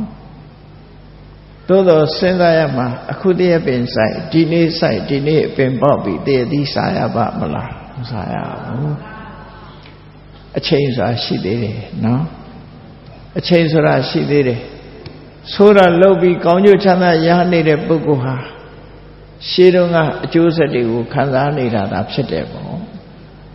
ကောင်းတာလုပ်ပြီးဒုက္ခရောက်နေတဲ့လူတယောက်ဟာလည်းပဲရှေးရခင်ကလုပ်ခဲ့တဲ့အကျိုးဆက်တွေကိုခံစားနေရခြင်းသာဖြစ်တယ်လို့ဒီလိုနားလည်ပြီးတာဖြစ်တယ်အဲ့ဒါလို့နားမလည်ဘူးဆိုလို့ရှိရင်ကံကံဤအကျိုးညင်းပဲ့တဲ့ပုဂ္ဂိုလ်ဖြစ်သွားနိုင်အဲ့တော့ကိုယ့်ဘဝကိုဆန်းစစ်ကြည့် လူတိုင်းလူတိုင်းဟာကိုယ့်ဘဝကိုဆန်းစစ်ရမှာကမ္မတက္ကတာတမဒိဋ္ဌိနဲ့ဟုတ်ပြီကောင်းတာလုပ်ရင်ကောင်းကျိုးရတယ်မကောင်းတာလုပ်ရင်မကောင်းကျိုးရတယ်ဆိုဒုတတွေဟာဘာတွေလုပ်နေလဲတနေ့တာမှာကောင်းတာတွေကြီးလှုပ်ထလားဆိုးတာတွေရောလှုပ်သလားကိုယ့်ကိုမှန်သိအောင်ကြိုးစားဖို့လို့မြတ်စွာဘုရားကတော့ဟောတယ် ဥပောပုံညင်စပပိစယမေသောကုရုတိဣဒာတရဝတူဟာဒီလောကတရဝတူဟာပပလို့ဆိုတဲ့မလို့တင်တာတွေလည်းလုပ်တယ်ပုံညလို့ဆိုတဲ့လို့တင်တာတွေလည်းလုပ်တယ်ကောင်းတာလည်းလုပ်တယ်ဆိုးတာလည်းလုပ်တယ်ကောင်းဆိုးနှမျိုးလုံးလုပ်ကြတယ်ပုရုဇဉ်မှန်သမျှအကောင်းကြီးလုပ်တာဆိုတာမရှိနိုင်ဘူး အဆိုးတွေကတော့ပါအောင်ပါနော်အစာစားတဲ့အထက်မှာခန္ဓာကိုယ်အကျိုးပြုတာတင်ပါတာမဟုတ်ဘူးအကျိုးမပြုတာတွေလည်းစားမိမှာပဲအဲ့တော့ပုထုဇဉ်ဆိုတဲ့အတိပ္ပယ်ကိုကမကောင်းတာအဖြစ်များလို့ပုထုဇဉ်ခေါ်တာဟုတ်ပုထုဇနမကောင်းတာတွေဖြစ်များနေတယ်အဲ့ဒါကိုပြောင်းပြနိုင်အောင်ကြိုးစားကိုယ့်အကိုဆင်ញင်သုံးသပ်ပြီးတော့ဒီတစ်ခုလုံးတယ်ဆိုဟုတ်ပြီ ကောင်းတာလည်းလုံးတယ်ဆိုးတာလည်းလုံးတယ်လုတ်ပြီးပြီးသွားရလားဆိုဘယ်ပြီးမလဲတင်ညိတတ္တတက္ကံဟောတိကိုလုံးတဲ့ကံတရားတွေဟာကိုယ့်ရဲ့ရင်ထဲနှလုံးထဲမှာအယိတ်ထင်ပြီးတော့ကြံ့ရစ်ပြီးနော်ပျောက်သွားတာမဟုတ်ဘူးပုံရိပ်တွေထင်သွားပြီလို့သူဆိုလို့တယ်ခေတ်အခြေအနေနဲ့နားလည်အောင်ပြောလို့ရှိရင် ရှင်ထဲမှာ CCTV တတ်ထားတယ်လို့သာမှတ်တာမကောင်းတာလုပ်ပြီးလိန်လို့မရဘူးကောင်းတာလုပ်ရင်လည်းလိန်လို့မရဘူးနော်ချင်းထက်မဲ့တော့မကြိုးစားနဲ့အဲ့ဒီမှာဘာလုပ်လို့လူတွေရဲ့ရင်ထဲမှာမှတ်တမ်းတင်တာရှိတယ်မှတ်တမ်းတင်ပြီးသားဖြစ်သွားတယ်ကောင်းတဲ့ပုံရိပ်တွေမကောင်းတဲ့ပုံရိပ်တွေဟာ ရှင်ထဲမှာရောက်သွားအဲ့တော့ကိုလုံးသမျှတွေဟာနောက်ဘဝပါသွားဖို့ဆိုတာဘယ်နေရာမှာရှိနေတာတော့လို့မေးကြည့်နှလုံးသားထဲမှာရှိနေတာလားအုံနောက်ထဲမှာရှိနေတာလားအုံနောက်ဆိုတာပြက်ချင်ပြက်သွားတာပဲလေနှလုံးသားဆိုတာလဲခွဲစိတ်ကုသရတာမျိုးတွေရှိရတယ်သိရင်အုံနောက်ကလည်းလုံးမလုံးတော့ နှလုံးကလည်းလုံးမလုံးတော့အဲ့ဒီအုံနောက်နဲ့နှလုံးကလည်းသိရင်မိတကြိုတဲ့ထဲပါမသွားဘူးလားဒါပြင်ကံတရားတွေများပါသွားမလားအုံနောက်ထဲမှာနှလုံးသားထဲမှာပါသွားမလားအဲ့ပါသွားရင်တော့အေးတာပေါ့နော်တပွားတယ်မြတ်စွာဘုရားကတင်ညိတတတကံဟောတိတဲ့ကိုလို့တာကိုထဲမှာကိုပုံရိပ်တွေကိုရသွားတယ် ဘယ်မှာဒီပုံရိပ်တွေကထင်သွားတော့ဆိုကုသိုလ်အကုသိုလ်ကံရဲ့ပုံရိပ်တွေစိတ်အစဉ်မှာဖြစ်သွားတာ mental process လို့ခေါ်တယ်စိတ်အစဉ်နဲ့နော်စိတ်ရဲ့ဖြစ်စဉ်ကြီးတွေမှာဒီအေယဝရီမြစ်ကြီးစီးဆင်းနေတဲ့အချိန်မှာမြေကြီးကစီးနေမပြတ်စီးနေအဲ့ဒါလိုပဲကိုယ့်ရဲ့ရင်ထဲမှာစိတ်အစဉ်ကြီးကမပြတ်ရှိနေအဲ့ဒီမပြတ်တဲ့စိတ်အစဉ်ထဲမှာပုံရိပ်တွေပါသွားပြီ အဲ့ပုံရိပ်တွေဘယ်လိုလုပ်လိုက်ပြီးတော့ဖြတ်လို့ရအောင်ညာနိုင်နော်မရနိုင်ဘူး CCTV တွေဟာတော့ဖြုတ်ပြီးတော့ဖြောင်းလို့ရသေးတယ်ရင်ထဲဟာတော့ဖြောင်းလို့မရဘူးဒါမှပဲအဲ့တော့ဒီဘဝထင်တဲ့ပုံရိပ်တွေဟာလူသေးသွားတော့ပျောက်သွားရောလားလို့ဆိုမြတ်စွာဘုရားတင်ဆအာရယခိစ္စတိဒီပုံရိပ်တွေဟာသူနဲ့အတူပါသွားလိမ့်မယ်တဲ့ပါသွားမှာပဲ တင်ဆတ္တအနုခံဟောတိဒါတွေကနောက်ကဘဝတန်တဲ့အဆက်ဆက်မှာပါသွားပြီအယိတ်ပမာလိုက်နေမှာဖြစ်တယ်ဒါကြောင့်မို့ပုံရိပ်မကောင်းတဲ့ပုဂ္ဂိုလ်တွေဟာဆင်းရဲဒုက္ခနဲ့ကြုံတွေ့ရပြီပုံရိပ်ကောင်းတဲ့ပုဂ္ဂိုလ်တွေသာချမ်းသာဒုက္ခရရှိမှာဖြစ်တယ်ဒီပုံရိပ်တွေကြည့်ပြီးတော့ဘဝမှာအကျိုးပေးမှုတွေဖြစ်တယ်ဒါကိုပဲမြတ်စွာဘုရားက ရှံကမံဂရိတန္တိကလျာဏဝပပကံဝတတ္တကမ္မတဓာဓာပွေတန္တိဆိုတာဒါကိုဟောတာနော်ကောင်းတာလှုပ်လို့မကောင်းတာလှုပ်လို့ထိုလှုပ်တဲ့မြကုသကံအကုသကံတို့ရဲ့အမွေကိုလှုပ်သူခံရမယ်ဆိုတာဒါအဲ့ဒါကံကံအကျိုးလက်ခံတယ်ဆိုရမြတ်စွာဘုရားရဲ့ဆုံးမတရားအလို့လက်ခံထားတဲ့ကမ္မတက္ကတာတမ္မာဒိဋ္ဌိအမြင်ရှိမှ ဗုဒ္ဓဘာသာဆိုတာဖြစ်နိုင်တယ်လို့မှတ်ကမ္မတက္ကတာသမာဓိဋ္ဌိအမြင်မရှိရင်ဘုရားပဒမဖြစ်ဘူးဗုဒ္ဓံတရဏံကိစ္ဆမိဆိုနေပြီမဲ့လို့ကံမယုံကြည်ဘူးဆိုရင်ဗုဒ္ဓဘာသာဆက်ဖြစ်ဖို့မြတ်စွာဘုရားကိုယ်တိုင်ကကံကံကြီးကျိုးအလေးနဲ့ထားပြီးအခြေခံအပြင်ဟောကြားခဲ့တာဖြစ်တယ်။ဒါကြောင့်မို့ ကံကံကြီးကျိုးယုံကြည်လက်ခံခြင်းဆိုတဲ့သိမြင်ခြင်းဆိုတဲ့ကမ္မတက္ကတာတမ္မာဒိဋ္ဌိရှိရမယ်။ကမ္မတက္ကတာတမ္မာဒိဋ္ဌိရှိပြီးရင်နောက်ထပ်တစ်ဆင့်တိုးရမယ်မြတ်စွာဘုရားသာသနာတော်နဲ့ကြုံတွေ့တဲ့အခါလေးမှာတဆင့်တိုးရမယ်တမ္မာဒိဋ္ဌိကဝိပဿနာတမ္မာဒိဋ္ဌိလို့ခေါ်တယ်အဲ့ဒီဝိပဿနာတမ္မာဒိဋ္ဌိကြတော့ကမ္မသက္ကတာတမ္မာဒိဋ္ဌိတဲ့ပို့ပြီးတော့အစင်းမြင့်တဲ့ အသိဉာဏ်ပဲဖြစ်တယ်ဘုရားသာသနာတော်နဲ့ကြုံတွေ့တဲ့အခါမှာကမ္မသက္ကတာတမ္မာဒိဋ္ဌိလေးနဲ့တည်းမကျင့်တတ်နဲ့ဝိပဿနာတမ္မာဒိဋ္ဌိဉာဏ်ဖြစ်အောင်ကြိုးစားအောင်အဲ့တော့ဝိပဿနာတမ္မာဒိဋ္ဌိဖြစ်အောင်ဘယ်လိုလှုပ်ဆောင်ရမလဲလောကမှာကိုယ့်ကိုစဉ်းစားကြည့်လိုက်ငါခန္ဓာကိုယ်မှာ body နဲ့ mind ဆိုတဲ့အတိုင်းသူ့ရဲ့ရုပ်တရက်ကြီးရှိတယ်ထိုရုပ်တရက်ကိုမှီးပြီးတော့ဖြစ်နေတဲ့အသိစိတ်ရှိနော်ရုပ်ခန္ဓာနဲ့နာမ်ခန္ဓာဆိုတာဆိုရုပ်နဲ့နာမ်နှစ်ခုရှိတယ်ရုပ်နဲ့နာမ်နှစ်ခုပေါင်းစပ်နေတဲ့အချိန်မှာလှုပ်ရှားတယ်စကားပြောတယ်ငိုတယ်ရည်တယ်အဲ့ဒီရုပ်ခန္ဓာတွေကနာမ်ခန္ဓာမရှိတော့ဘူးဆိုရင်ဒီယုတ်ကြီးကအသေးကြီးဖြစ်သွားပြန် ဘာနဲ့ဥပမာတူတော့ဆိုရင် robot ဆိုတဲ့စက်ရုပ်ကလေးကိုကြည့်ဘက်ထရီအားနဲ့လှုပ်ရှားနေတဲ့ robot ကိုကြည့်လိုက်လို့ရှိရင်ဘက်ထရီကုန်သွားပြီဆိုရင်ဒီစက်ရုပ်တွေကမလှုပ်တော့မလှုပ်နိုင်တော့အဲ့ဒါလိုပဲလူရဲ့ခန္ဓာကိုယ်မှာရှုံးတဲ့နံဒီနှစ်ခုပေါင်းဆက်ပြီးတော့နေတဲ့အချိန်မှာစကားပြောတယ်လှုပ်ရှားတယ်အကောင်းဆိုးတွေလှုပ်တယ်ဆိုတာဖြစ်တယ် ကိုယ့်ကိုယ်ကိုစက်ရုပ်လို့စိတ်ထဲမှာဆင်ញင်သုံးသပ်ကြည့်လိုက်ရုပ်နဲ့နာနှမျိုးသာရှိတယ်ဆိုတာရုပ်နဲ့နာနှမျိုးပဲရှိတယ်သူလည်းရုပ်နဲ့နာငါလည်းရုပ်နဲ့နာပြင်မကအရာတွေကြတော့ရုပ်တရားတက်တက်ပဲရှိတယ်ဒါကြောင့်သစ်ပင်ကြီးတွေမှာငိုခြင်းရဲခြင်းမရှိဘူးနော်ငိုခြင်းရဲခြင်းမရှိဘူးစကားပြောဆိုခြင်းမရှိဘူးတရဝါတွေကြတော့ငိုတယ်ရဲတယ် စကားပြောတယ်ရှိတယ်ရုပ်နဲ့နာနှစ်ခုရှိတက်ရှိတက်မဲ့အဲ့လိုခွဲခြားမှတ်သားပြီးကိုယ့်ကိုယ်ကိုပြန်စဉ်းစားကြည့်ရမှာငါမှာဒီအာယုကိုသိနိုင်စွာမရှိတဲ့အတိကင်းမဲ့တဲ့ယုတ်တရားကြီးငါမှရှိတယ်အဲ့ဒီပေါ်မှာမှီပြီးတော့အတိစိတ်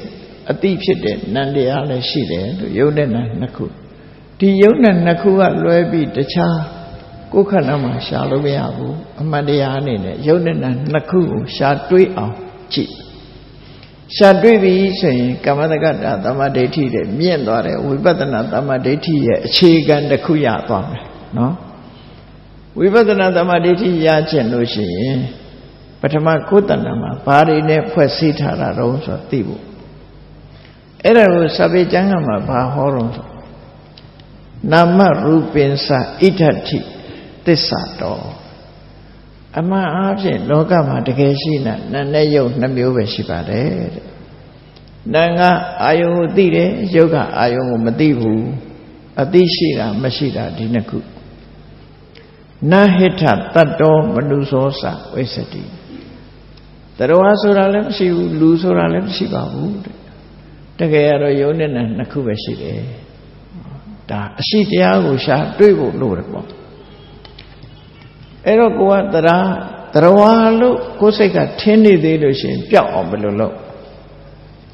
ပျောက်တဲ့နီးလေးကိုကြည့်အောင်လူတယောက်ကအေးအိမ်ကလာတယ်သို့မဟုတ်အဝေးကလာခဲ့တယ်ဘာနဲ့လာကားနဲ့လာဒါဖြင့်ကားကိုရှာပြသမှာလို့ဆိုရင်တခုစီ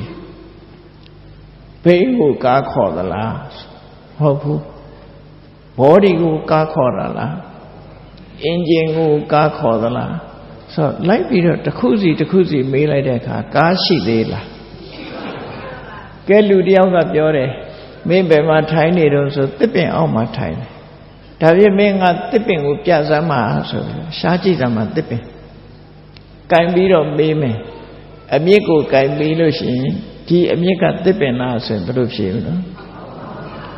ပင်စီကတစ်ပင်လားဆိုရင်ရောအကိုင်းခက်တွေကတစ်ပင်လားလို့မေးရင်ဟောအရွက်တွေကတစ်ပင်လားအပွင့်နေအသီးတွေကတစ်ပင်လားဆိုတခုစီမေးကြည့်တစ်ပင်ပြောက်သွားတယ်အဲ့ဒါလိုပဲလူရဲ့ခန္ဓာကိုယ်မှာလည်းပဲတခုစီတခုစီ ဆံမင်းမွေးခြင်းခြေသက်လက်သက်သွားရည်ဆိုတဲ့အင်္ဂါရက်တွေနဲ့ကင်ပြီးတော့မေးကြည့်လိုက်လူပြောက်သွားတယ်ဒါကြောင့်ပြောတာအဲ့ဒီကိုယ့်ကိုဒါဝိပဿနာဉာဏ်ဖြစ်ဖို့ဆင်ញင်သုံးသပ်ဖို့ပြောတာနော်ငါဟာငါလို့ပြောနေတာဘာကိုပြောနေတာလဲဘယ်ဟာငါလဲဆိုတာကိုသိရအောင်အဲ့တော့တကယ်ရှိနေတာကနာမရူပင်းစဣဒ္ဓတိ သစ္စာတော်နာဟိထတတ္တောမနုသောစာဝိသတိတရားဆိုတာမရှိဘူးလူသားဆိုတာမရှိဘူးသုံးညာဣဒ္ဓသုံးညာဣဒ္ဓဆိုတာခန္ဓာကိုယ်ကြီးမှာအလုံးဟာတရားဆိုတဲ့အရာကစိတ်သုံးနေတာဖြစ်တယ်ပေါ့တရားဆိုတဲ့အရာစိတ်သုံးနေတာဖြစ်တယ်အလုံးဟာပေါင်းစပ်နေလို့လှုပ်ရှားနိုင်တာဖြစ်တယ်တိုင်ကတ်နိုင်တလုံးကိုကြည့်လိုက် တိုင်ကတ်နိုင်ကလူတွေကိုဗာပြောပြတယ်အချိန်ကိုပြောပြတယ်အချိန်ကိုပြောပြတဲ့အခါမှာနိုင်ရဲ့မျက်နှာပြင်မှာခဏန်းနေပါတယ်လက်တံအတူနဲ့အရှိပါတယ်အထဲထဲမှာပင်နိယံပါတယ်ဘက်ထရီဓာတ်ခဲပါတယ်အဲ့ဒါတွေအချိုးကျပေါင်းစပ်လိုက်တဲ့အခါမှာဒီနိုင်လေးကအချိန်ကိုပြောနေတယ်အများလား နော်ဘယ်နှနာရရှိမလဲဆိုတာအချိန်ကိုပြောကဲလက်တံလေးတစ်ခုဖြုတ်လိုက်မယ်နိုင်ပြောလို့ရသေးလားလက်တံတစ်ချောင်းနဲ့ဖြုတ်လိုက်ရင်ကိုအချိန်မပြောနိုင်တော့ဘူးသူဟာနော်တစ်ချောင်းနဲ့အချိန်ဆိုမသိနိုင်ဘူးဘက်ထရီဖြုတ်လိုက်ရင်တော့သွားပြီမရှိတော့အဲ့တော့ကိုယ်ခန္ဓာကိုယ်လည်းပဲအဲ့ဒီသဘောထားနိုင်လို့လှုပ်ရှားနေတာဟာယုံနဲ့နာနှစ်ခုပေါင်းဆက်ပြီးတော့လှုပ်ရှားနေတာ ဒီထဲမှာတရားဆိုတာမရှိဘူးတုံညဘာမှမရှိတဲ့အနေထားဘာနဲ့ဥပမာတူတော့ဆိုယန္တမိဝဖိသင်္ကတံစက်ယုံနဲ့လောက်ထားတဲ့ပုံစံမျိုးပဲဘက်ထရီအားနဲ့လှုပ်ရှားနေတဲ့ robot ဆိုတဲ့စက်ယုံလိုပဲဒုက္ခတပုံစောနော်တိနကထတာရိတော်တတာရီမြက်တွေနဲ့ ပုံဆောင်ထားတဲ့တကယ်ဆင်းရဲဒုက္ခအစုမြလာဖြစ်တယ်ဖြတ်ကြည့်လိုက်ရင်တခုမှဟောအနှစ်သာရဆိုတာရှာတွေ့မှာမဟုတ်ဘူးအဲ့ဒီလိုအမြင်မျိုးမြင်အောင်ထိုင်ပြီးတော့စဉ်းစားကိုယ့်ကိုထိုင်ပြီးစဉ်းစားတဲ့အခါမှာကိုယ်ခန္ဓာမှာယုံတဲ့နာကလွဲလို့ဘာမှမတွေးရဘူးဆိုတာကိုသဘောပေါက်လာမှာပဲဖြစ်တယ်ပေါ့အဲ့ဒီသဘောပေါက်လာခြင်းဟာ သိတဲ့သိလိုက်တဲ့တရားတွေကိုသိတာဖြစ်တော့ကြောင့်ညာတပရိညာရဲ့အခြေခံလို့ဒီလိုပြောလို့ရတယ်ပေါ့နော်အဲ့ဒီကနေပြီးတော့ခန္ဓာကိုယ်ထဲမှာရှုံနဲ့နံနှစ်ခုသာရှိတယ်တရားဆိုတာမရှိဘူးလို့ဒီမြင်မြူမြင်လာပြီဆိုလို့ရှိရင်သူက နာမရူပပြိစေရညာလို့လည်းခေါ်တယ်ဒိဋ္ဌိဝိတုဒ္ဓိလို့လည်းခေါ်တယ်နော်နာမရူပနာယာထာဝဓတနာဒိဋ္ဌိဝိတုဒ္ဓိနာမကိုယ်ခန္ဓာကိုယ်မှာယုံနဲ့နာကလွဲလို့တခြားမရှိဘူးယုံနဲ့ရဲ့သဘာဝတရားကိုမြင်တဲ့အတိညာကိုဒိဋ္ဌိဝိတုဒ္ဓိနော်ဒိဋ္ဌိဝိတုဒ္ဓိမှန်ကန်တဲ့ဉာဏ်အမြင်ဒီမှားရွေးတဲ့ အယူဆတစ်ခုကိုဖယ်ရှားပြစ်နိုင်တာဖြစ်သောကြောင့်မှားရွေးတဲ့အယူဝါဒကိုဖယ်ရှားတန့်စင်ပေးတာဖြစ်သောကြောင့်ဒိဋ္ဌိဝိတုဒ္ဓိအတိညာလို့ပြော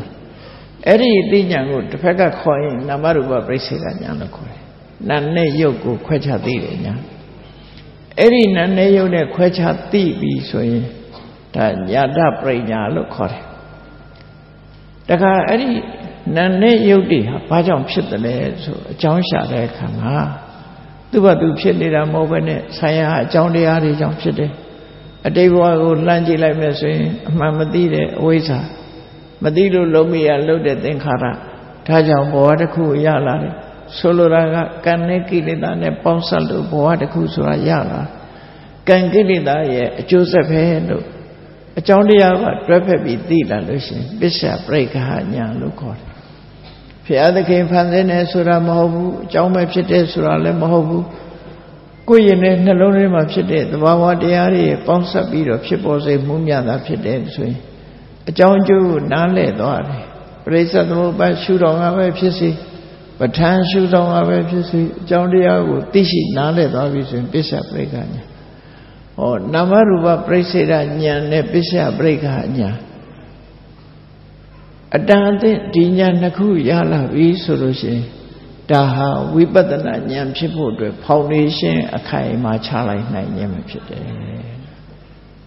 ဒါဝိပဿနာတော့ခေါ်ခြင်းခေါ်လို့ရတော့လည်းပဲဝိပဿနာမဟုတ်သေးဘူးဝိပဿနာဉာဏ်ရဲ့ဖောင်ဒေးရှင်းလို့ပဲပြောအောင်မှာဖြစ်တယ်ဝိပဿနာဉာဏ်အစစ်ဖြစ်ဖို့ကြတော့ဒီရှုံးနံနှမျိုးအပေါ်မှာ စိတ်စိတ်ငုံငုတေချာရှုတဲ့အခါမှာမမြဲတဲ့သဘောကိုထင်တဲ့အတိုင်းဆင်းရဲတဲ့ချမ်းသာတာကင်းပြတ်ပြီးတော့ဆင်းရဲတဲ့သဘောကိုဖြစ်ချင်တိုင်းမဖြစ်ဘူးဆိုတဲ့အနတ္တသဘောအဲ့ဒါတွေတွေ့ပြီဆိုတော့မှဒါဝိပဿနာဉာဏ်ဖြစ်ပြီလို့ပြောရမှာဖြစ်တယ်အဲ့တော့ဝိပဿနာဉာဏ်ဖြစ်ဖို့အစပထမကြိုးစားမှာယုံနဲ့နာနဲ့꿰အောင် သင်ယူရမယ်မှတ်သားရမယ်ပြီးရင်ခန္ဓာကိုယ်ပေါ်မှာခြားကြည့်ပြီးအလုတ်လုတ်ပထမသင်ပြီးရင်ခန္ဓာကိုယ်ထဲမှာရှာရှာလို့ယုံနဲ့နာနှမျိုးသာတွေ့ပြီးအမှန်ကန်တွေ့လာပြီထိုယုံနာနှမျိုးရဲ့အကြောင်းတရားပါတွေ့ပြီဆိုရင်ဒါဝိပဿနာရဲ့ဖောင်ဒေးရှင်းငါတို့ချနိုင်ပြီအဲ့ဒီကနေပြီးမမြဲတဲ့သဘောဆင်းရဲတဲ့သဘောကိုယ်မပိုင်တဲ့သဘောတရားတွေပါ သဘောကျလာပြီဆိုရင်ဒါဝိပဿနာလမ်းကြောင်းနဲ့ရောက်လာပြီလို့သူပြောတာနော်အဲ့ဒီလိုလမ်းကြောင်းနဲ့ရောက်လာလို့ရှိရင်ဒါဝိပဿနာတမ္မာဒိဋ္ဌိလို့ခေါ်တယ်အဲ့တော့တမ္မာဒိဋ္ဌိဖြစ်ဖို့ရလွယ်သလားခက်သလားတကယ်ကတော့လွယ်တာမဟုတ်ဘူးနော်ဒါကြောင့်ရသော်ဘုရားရဲ့သာသနာတော်နဲ့ကြုံတွေ့တဲ့အချိန်မှာကမ္မတက္ကတာတမ္မာဒိဋ္ဌိတောင်မမှန်ကန်ကန်မရှိဘဲနဲ့တချို့ကြတယ် အာကောင်းတာလုပ်လေကောင်းတာမဖြစ်ပါဘူးဆိုးတာလုပ်လေဆိုးတာမကောင်းတာလုပ်တဲ့လူတွေကကောင်းစားနေတယ်ကောင်းတာလုပ်တဲ့လူတွေကဆင်းရဲနေတယ်ဆိုပြီးကံကိုမျက်စိလဲနေတာလည်းရှိတတ်တယ်တကယ်ကတော့ကံရဲ့သဘောတရားဟာဓမ္မစေဆိုင်ရင်ဓမ္မပင်ပဲပေါက်မယ်တရေစေဆိုင်မှာတရေပင်ပေါက်မယ်ရှာတိတံဝပတိပိသံတာရိတံဟရတိဖလံကိုဆိုင်တဲ့အပင်သာလဲ ကိုမျိုးစေချတာပဲကိုပြန်ရမှာပဲဖြစ်တယ်ကံကံကြီးအကျိုးဟာလွယ်မှားခြင်းမရှိအောင်ဒီလိုရှိတယ်အဲ့ဒါကိုခံယူချက်အပြည့်နဲ့ကိုယ်တဏ္ဍမှာဒီအပြည့်ရှိထားတဲ့ပုဂ္ဂိုလ်တယောက်မကောင်းတာကိုမကောင်းတဲ့အကုသိုလ်ကိုလှုပ်ခြင်းမှရှောင်ကျင်ခြင်းကောင်းတဲ့ကုသိုလ်ဖြစ်အောင်ကြိုးစားအားထုတ်ခြင်းဒါကိုလုပ်ရမှာဖြစ် ဒါဖြင့်အကုသိုလ်နည်းအောင်လုပ်တဲ့အလုပ်တွေကဘာတွေတော့ဆိုနံပါတ်1သီလနဲ့ကာရမယ်နော်သီလနဲ့ကာတယ်သီလနဲ့ကာပြီးရင်ဘာနဲ့ကာအိန္ဒရိယတံဝရလို့ခေါ်တယ်တတိနဲ့ကာရမယ်အကုသိုလ်တွေကိုကာနိုင်ရမယ်သီလနဲ့ကာမယ်သီလနဲ့ကာတယ်ဆိုတာသူများတဲ့မတတ်မိအောင်ကာယကံဝစီကံမကျူးလွန်မိအောင်ထိမ့်သိမ့်တယ် ကာယကမကျူးလွန်မိအောင်ထိမ့်သိမ့်တယ်သူများပစ္စည်းမယူမိအောင်ကာယကမကျူးလွန်မိအောင်ထိမ့်သိမ့်တယ်ကာမိတုမိစ္ဆာစရမဖြစ်အောင်ထိမ့်သိမ့်တယ်မုဒ္ဒဝါရဆိုတဲ့ဝစီကံမဖြစ်အောင်ထိမ့်သိမ့်တယ်သူရမေရိယဆိုတာမဖြစ်အောင်ထိမ့်သိမ့်တယ်တိလနဲ့ကာထားလိုက်လို့ရှိရင်ဒီအကုသိုလ်တွေကိုယ်တဏ္ဍမှာဖြစ်နေသို့တော့စိတ်ထဲမှာတော့တတ်ခြင်းနဲ့စိတ်သူများပစ္စည်းယူခြင်းနဲ့စိတ်နော် ကာမိစုပသရနဲ့ပတ်သက်တဲ့စိတ်တွေလိန်လိုတဲ့စိတ်တွေပေါ်ကောင်းပေါ်လိမ့်အောင်မယ်အဲ့ဒါကိုပါနဲ့ပြန်ကမလို့ဆိုရင်အိန္ဒရိယတံဝရဆိုတဲ့တတိနဲ့ပြန်ကားဖို့လိုတယ်အဲ့တော့တိလာကကာယကံဝစီကံကိုထိမ့်သိမ့်ပြီးတော့အိန္ဒရိယတံဝရကတတိနဲ့စိတ်ကိုထိမ့်သိမ့်တာအဲ့ဒီနှစ်ခုထိမ့်သိမ့်မှုပြည့်စုံမှဒီ နိဗ္ဗာန်ရဲ့ကြောင့်တရားရဲ့အခြေခံကောင်းနေရှိမှာစရဏတရား15ပါးထဲမှာနံပါတ်1ကသီလနံပါတ်2ကအိန္ဒရိယသံဝရအိန္ဒရိယသံဝရကိုထပ်ပိုးပြီးတော့ဘောဇနိမတ္တညုတာစီဝိန္ဒတွေကိုပြန်ပြီးတော့ထိမ့်သိဆောက်ရှောက်တဲ့အတိုင်းအတာတစ်ခုနဲ့ကိုယ်နဲ့တင့်တော်တာကိုစာသုံးရင်းဇမရေးအတွက်ထောက်ကူဖြစ်တဲ့ဟာနောက်ပြီးတော့ဇာကရိယနုယောဂနုနုကြာကြာ ကိုယ့်ရင်နဲ့နှလုံးထဲမှာအကုသိုလ်မဖြစ်အောင်ကြိုးစားခြင်းဆိုတာဒီဟာမြတ်စွာဘုရားသာသနာတော်မှာအခြေခံအားဖြင့်ဒီလုတ်တွေတို့လောရမှာဖြစ်တယ်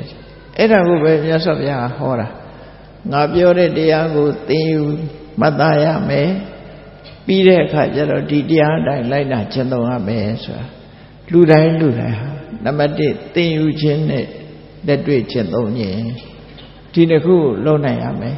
ဒီလိုလုံးမရဘုရားရဲ့ဆုံးမတရားတော်တွေဟာကြာရှိစွာတည်ပြီးတော့အကျိုးသက်ရောက်မှုကိုဖြစ်စေနိုင်တာဖြစ်တယ်ဒါကြောင့်ဒီမြတ်စွာဘုရားသာသနာတော်နဲ့ကြုံတွေ့နေတဲ့အချိန်မှာကမ္မတက္ကတာတမ္မာဒိဋ္ဌိဆိုတဲ့အတိညာကိုခိုင်ခိုင်မာမာချဝိပဿနာတမ္မာဒိဋ္ဌိဉာဏ်ဖြစ်အောင်ကြိုးစားအထောက်ခြင်းဖြင့်ကိုယ့်ရဲ့အဆင့်ကိုတို့တွေတိုးမြင့်ကြရမှာဖြစ်တယ် ဒါကိုတတိထားဖို့လိုအပ်ပါတယ်တရားချက်ခင်သူတော်စင်ပြိဿပေါင်းတို့မြတ်ဗုဒ္ဓရဲ့ဆုံးမတရားတွေသိရှိနေသမျှကလပ်ပတ်လုံးထိုဆုံးမတရားတော်တွေကိုလိုက်နာကျင့်သုံးမှုရှောင်းနေတာရှောင်းဆောင်းနေတာဆောင်းဆိုတဲ့ရှောင်းခြင်းလှုပ်ဆောင်ခြင်းဆိုတဲ့လုပ်ငန်းတွေကိုတို့တွေစ조사အထုတ်ပြီးမြတ်စွာဘုရားအဆုံးအမတိုင်းကျင့်သုံးနေထိုင်ခြင်းအပြင် ရရှိလာတဲ့ဘဝရဲ့တန်ဖိုးကိုတိုးတက်အောင်တို့တွေစ조사အထုတ်ရမှာဖြစ်တယ်လို့ကိုယ်စီကိုယ်စီတတိကြီးစွာထားပြီးအပ္ပမရတရားဖြင့်ကြိုးစားအထောက်နိုင်ကြပါစေကုန်သတည်း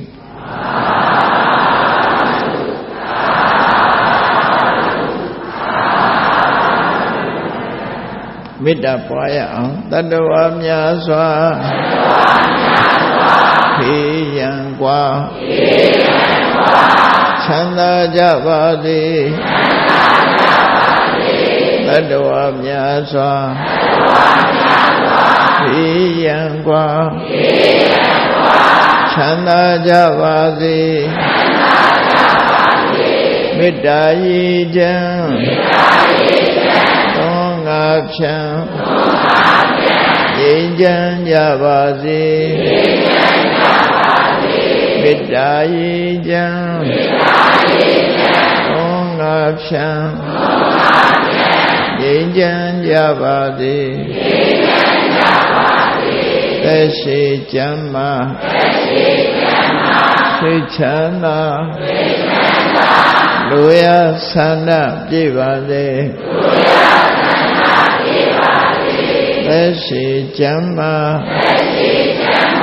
မာသိချမ်းသာ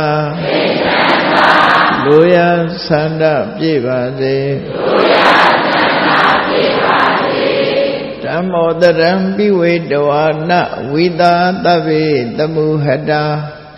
အစရမရတိတိဘာဝံနိဗ္ဗာနံ